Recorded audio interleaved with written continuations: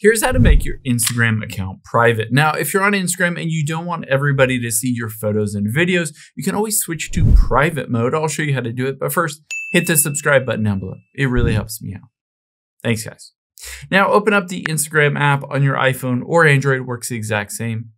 And from here, we need to get to your settings. So tap on the profile at the bottom right. And next, you'll see at the very top right are those three lines, and tap on that. Now, from here, we're in your settings and we need to make sure you don't have a creator or a business professional account. If you do, you're not able to switch to a private account because by default, a creator account is always public or business is always public. So the first thing we're going to do is scroll down. And if you see this option, it says for professionals, business tools and controls. Tap on that.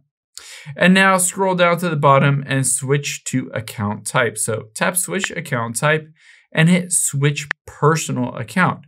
This will switch your account to a personal account and allow you to set it as private. Of course, if you didn't have a professional account to start with, you don't necessarily need to do that.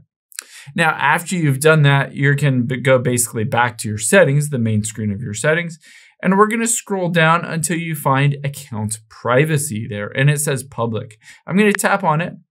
Now, all I need to do is toggle this on to create a private account and hit switch to private. Now, of course, it says creator can't be private, again, because I'm a creator account, but basically after you switch to a personal account, you'll be able to set it to private so no one can see your content. Hope this helps. If it did, hit the subscribe button down below, and I'll catch you on the next one.